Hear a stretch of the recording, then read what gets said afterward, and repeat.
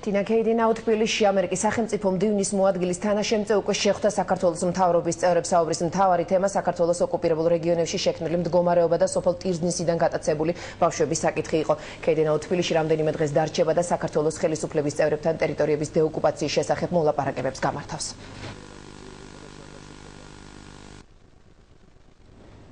კიდევ ერთ ამერიკელ მაღალ ჩინოსანს კი თბილისში უკვე ხვალელია. საქართველოსი ჰილარი კლინტონის თანაშემწე ჩამოდის. მაიკლ პოზნერი შეხვედრებს ხელისუფლებასთან საქართველოსი დემოკრატიის განვითარებისა და ადამიანის უფლებების დაცვის საკითხებთან დაკავშირებით გამართავს ეს ვიზიტი საქართველოს ამერიკის თანამშრომლობის ქარტიის ფარგლებში ხორციელდება რომელიც წელს იანვარში გაფორმდა. პოზნერთან ერთად თბილისში ამერიკის სახელმწიფო დეპარტამენტის სპეციალური ჯგუფი ჩამოდის რომელიც სოფლიოში ადამიანის უფლებებისა და დემოკრატიის განვითარების შესახებ მუშაობს. სამწუხაროდ საქართველოს ასე ვთქვათ ისტორიისა. ამ კვირაში იგეგმება ამერიკის შეერთებული შტატების სახელმწიფო დეპარტამენტის მაღალი დონის ვიზიტი საქართველოსა და ამერიკას შორის სტრატეგიული პარტნიორობის შესახებ ქარტიის ფარგლებში. თქვენ იცით რომ 4 ჯგუფისგან 4 ქვედანაყოფისგან შედგება ეს ქარტია.